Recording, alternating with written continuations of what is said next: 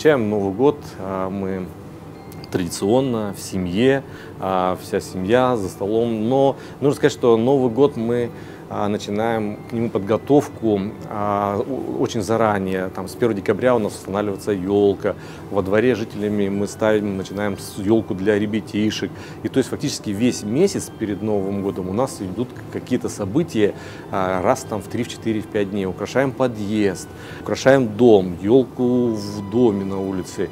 То есть вся вот атмосфера а, даже больше нравится не одного дня, а 31 там, декабря, а именно подготовка к этому празднику, ощущение чего-то ну, сказочного, лесного, снежного. Вам, а, дорогие химчане, а, желаю в следующем году а, хорошего настроения, позитива, а, любви много устойчивости и уверенности в следующем а, году.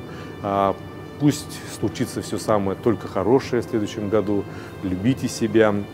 А, пусть стол у вас будет полон и много будет у вас новогодних мандаринок. С Новым годом!